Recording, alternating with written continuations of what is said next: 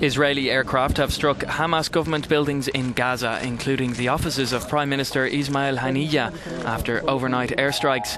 This comes after Israel's cabinet gave the go ahead to call up 75,000 reservists for a possible ground invasion in response to Palestinian militants firing towards the country.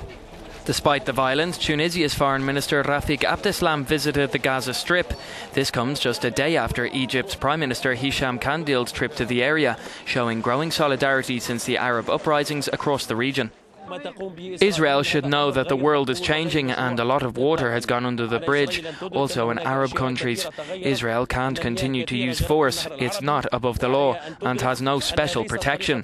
It's not above international law, and we condemn their action.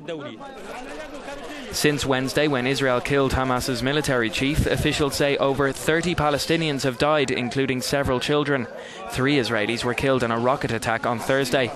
US President Barack Obama has spoken with both Egypt's President Mohamed Morsi, commending his efforts to start negotiating a truce, while discussing ways of de escalating the situation with Israel's Prime Minister Benjamin Netanyahu.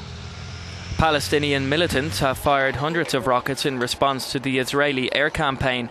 This has disrupted life across southern Israel, including in the town of Beer Hamas claimed responsibility for firing at Tel Aviv's commercial centre and for the first time in decades at Jerusalem.